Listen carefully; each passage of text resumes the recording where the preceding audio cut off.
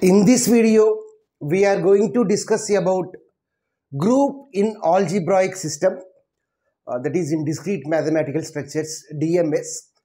Uh, first, let us see what is a group and we will try to solve two examples based on the group. First, let's see what is a group. Let we have a non-empty set called S. So let S be a non-empty set. So non-empty set means this set must contain some elements. And we have a binary operation. Uh, it may be any operation, plus or star or uh, minus any operation. Let star be a binary operation which is performed on the set. Then an algebraic system S comma star. Here S means non-empty set, star means binary operation which is performed on the set. An algebraic system S comma star is called as group if it satisfies four properties. They are the first property is closure property, second property is associative property, associative property, third one is identity element, identity element, and the fourth one is inverse element. If an algebraic system satisfies these four properties, then we can say that it is a group. Okay. Uh, so parallelly here we will discuss all these properties uh, by demonstrating the first example. Let us see the first example. Show that set of all non-zero real numbers is a group with respect to the multiplication. So here which operation we have to perform? Multiplication operation. And what is the set here? Set of all non-zero real numbers. So real numbers means uh, they are uh, nothing but uh, they may contain natural numbers also. Why? Because if you take 5.2, 7.4, these are the real numbers. Okay. So here we have 5, here we have 7. These are nothing but natural numbers only. Set of non-zero real numbers. So we should not take 0. Now here the set is like this. S is equal to, we should not take 0. So remaining numbers 1, 2, 3, so on. A set of natural numbers we have taken. Why? Because in every real number, we will have some natural number. So here we are taking that natural number. So we have to prove that it is a, it is a group. Okay. Show that a set of all non-zero real numbers is a group with respect to which operation? Multiplication operation. So group means it has to satisfy four properties. So what is the first property? The first property is closure property. So first let us see about closure property. Closure property means we have to take two elements from the set. We have to take two elements from the set. So for any two elements, for any two elements, A comma B belongs to S. Then here we have taken star operation. Then if A star B is also present in the set, then we can say that closure property is satisfied. So closure property means we have to take two elements. AB from the set. Here we are performing multiplication operation. If A star B is also present in the set, then we can say that closure property is satisfied. So let us take two elements from the set. Here the set contains the elements from 1 to infinity. Okay. And let us take 1 comma 2. 1 comma 2 is present in the set. And uh, 1 star 2. What is the result of 1 star 2? 2. So 2 is also present in the set. So we can say that closure property is satisfied. Now let us see the second property. The second property is associative property. The second property is associative property. Associative property. Associative property means we have to take three elements from the set.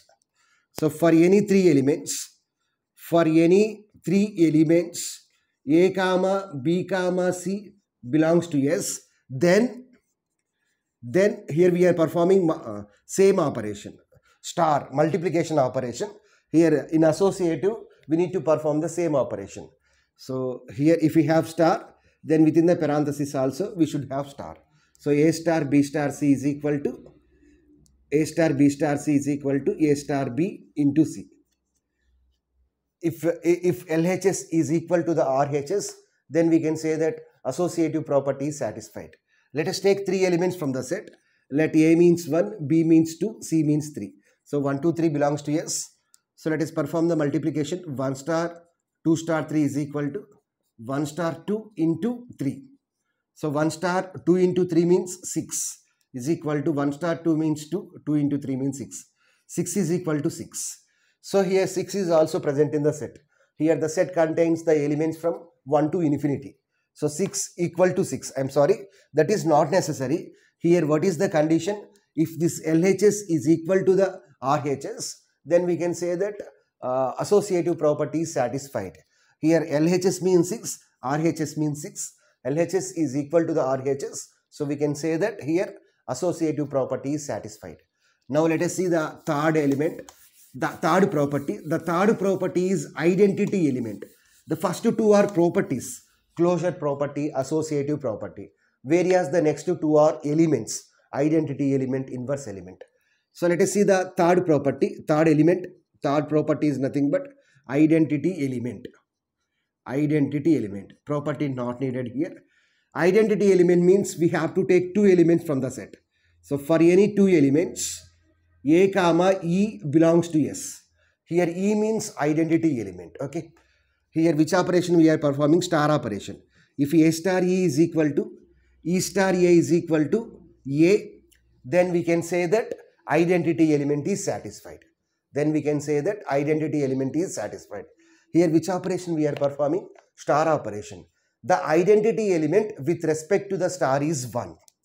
So what is the identity element with respect to the star? 1. Okay. Let us take any element from the set. Let A means 3. So 3 is belongs to the set. Okay. Then here we have taken A as 3. So 3 into what is the identity element with respect to the multiplication?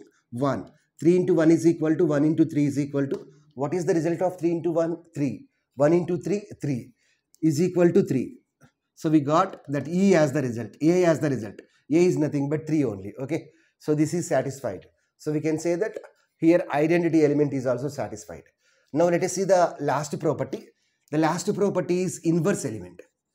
The last property is inverse element. Inverse element means for any element A belongs to S, there exists an element A inverse belongs to the S. So if A belongs to S, then we can say that A inverse is also belongs to the S. So here inverse property means A into A inverse is equal to A inverse into A is equal to E. A into A inverse is equal to A inverse into A is equal to E.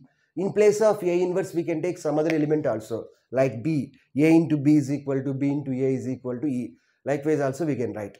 We already know that the identity element with respect to the multiplication is what? 1. Okay. Let us solve the problem now.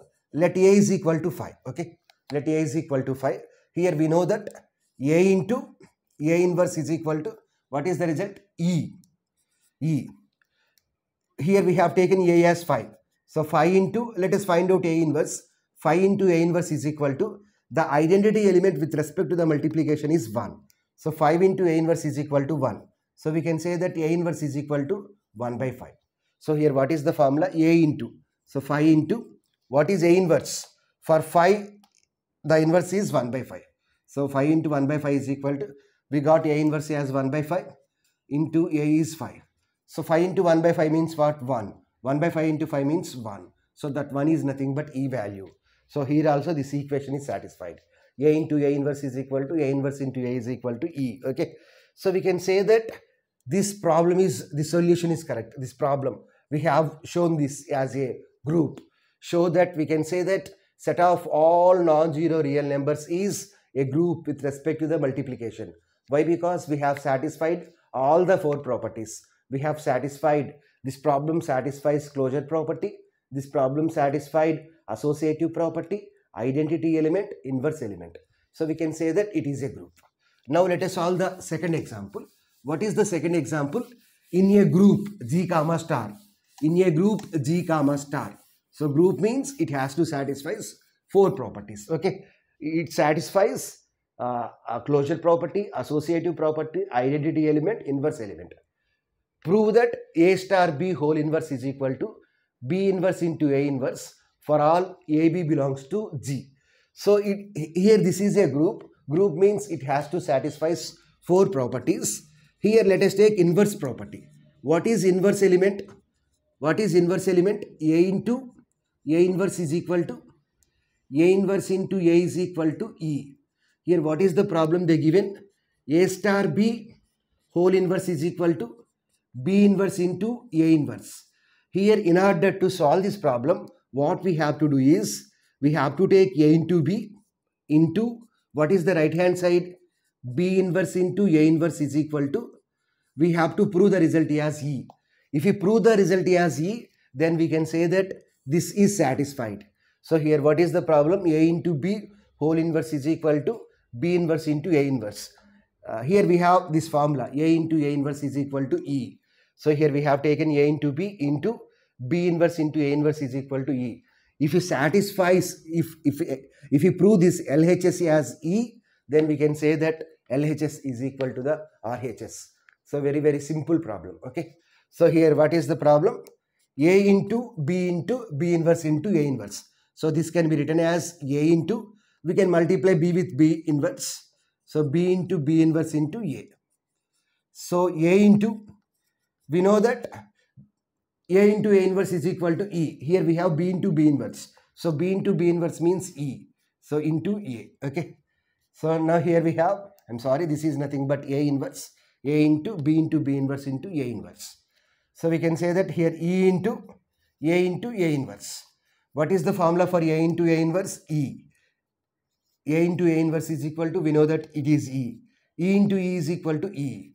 So we can say that here we have proved the, the, uh, the result as E. So we can say that A into B whole inverse is equal to B inverse into A inverse. Very, very simple. If we move A into B whole inverse towards the right side, then we will get, the, this inverse will get eliminated. A into B into B inverse into A inverse is equal to. So this is nothing but here, this is the inverse. Here we have the formula as E. So that's why here we have taken E. Okay. So with this we can conclude that this is satisfied. So this is about group in algebraic system.